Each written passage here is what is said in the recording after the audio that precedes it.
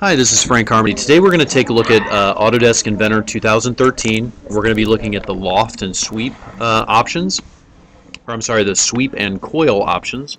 So let's take a look at the sweep first. Uh, the first thing we're going to do, of course, is to create a 2D sketch. In this case, we're going to take a, create our 2D sketch on the YX plane, so it's kind of standing up nicely for us.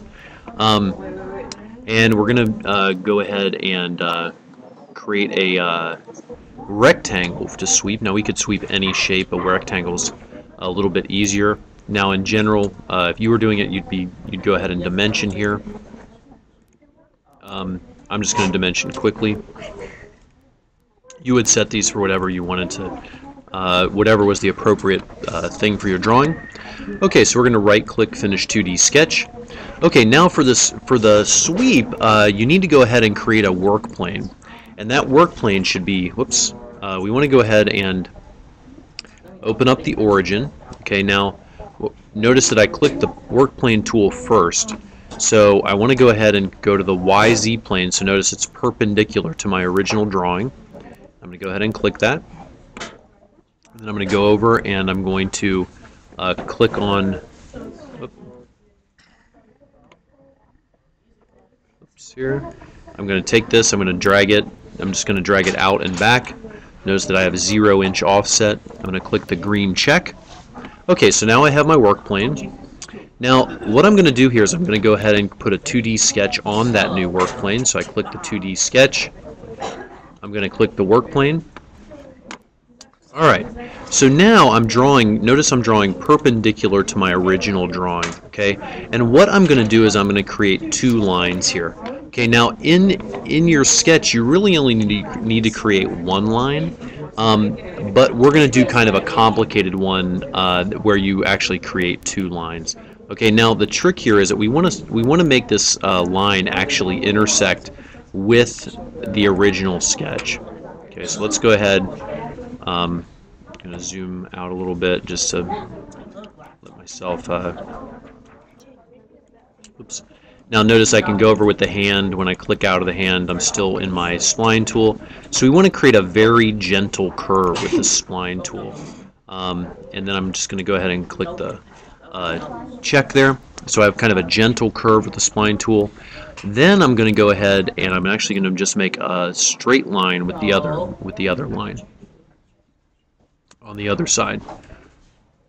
Okay, so I have two lines. Right click OK. Alright, so now what I have here is I have a sketch that's perpendicular to my original sketch. I have a curved line and a straight line, both of which intersect or go through the original sketch, if you notice that. Okay, so I'm going to right click Finish 2D Sketch. Now I'm going to go up to my Sweep tool. Okay, um, and we're going to go ahead and we're going to go, uh, we're going to we're going to go ahead and select path and guide rail. Okay, now path would just be one line, guide rail would be two lines, and path and guide surface uh, would be a would be an original path and the guide surface. Okay, so we're going to go ahead and select path and guide rail. Okay, so we have to select three things. The first of which is the profile. Okay, so which is already selected. Notice it automatically selected the rectangle because that's the only profile. The path we're going to select is the uh, curved line and the guide rail we're going to select is the straight line. Okay, so notice what happens here. Basically what we have here is we have a shape now that is curved on one side and straight on the other. Okay, let's go ahead and click cancel. Now what if we what if we did a uh, sweep and you notice it selects my profile again. Notice it automatically selects path. So what if we just had a, a sweep where only the path, only the curve line was selected. Notice that it just, it basically takes the shape over the path, right? Now we have a couple different options here. We can say on the path, we can also click parallel, which gives us a bit of a different shape. Okay, and notice that if we click path and guide rail, that if we go ahead, now that just basically allows us to select that third line. Okay, and we're going to go ahead and click OK. Alright, so there we have it. We have a sweep along a path and a guide rail. Okay, so I'm going to go ahead and save this off. Okay, and we're going to call this Lesson 7.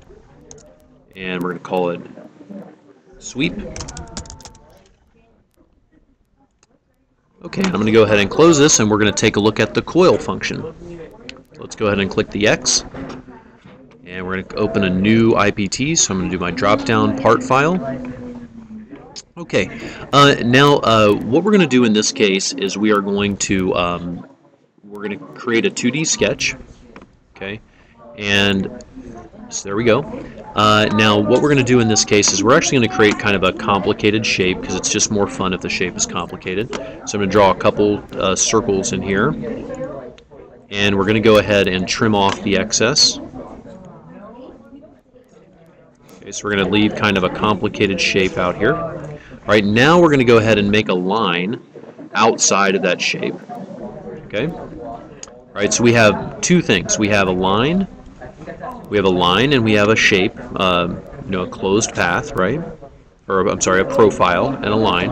Now we're going to right-click to do Finish 2D Sketch. Okay, so now we're going to go ahead and click Coil. We have the profile here, and then we're going to click the axis. Okay, that's the other thing we have to choose. So we're going to choose the axis of the line.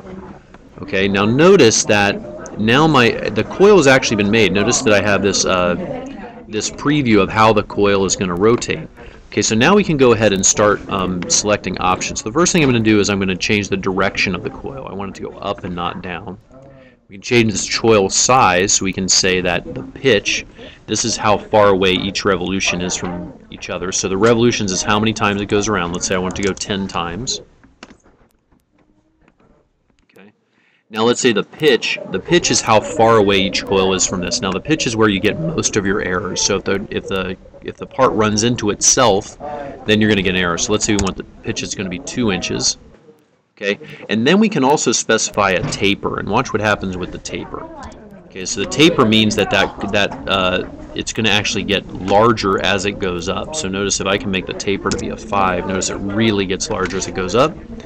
And then finally, the coil ends. You can actually make the end flat, natural, uh, and you can kind of experiment with these ends. It's how the, basically the coil finishes off. So let's say we want the end to be flat. Okay, uh, and we're going to go ahead and click OK, and let's see what this does. Okay, it's working here, and notice that it went ahead and created that coil. So let's go in and take a look at what uh, what actually happened there. So that was our coil, and notice that that shape that we originally made gets gets placed right up that path. Uh, it's pretty cool. Now we can go back. Let's say that we want to go back in and we want to change our coil. Okay, now this this happens quite a bit. So let's say you know every feature you make is over here in the Explorer bar. Uh, so we can double click on the coil one and we can change the pitch, we can change the revolution. So let's say we want the pitch to go down to 1, we want our revolutions to go up to 20. We can go ahead and click OK. And let's see if we can get it to error out here. Nope, uh, didn't error. Our pitch was okay. Um, okay, so there is our coil, and you can do quite a bit of experimentation with that. Let's go ahead and save off. Okay, so we're going to do, uh, call this lesson 7 coil. Okay, so for this lesson, uh, go ahead and create a sweep and a coil. Uh, save them off and turn them in, uh, and good luck.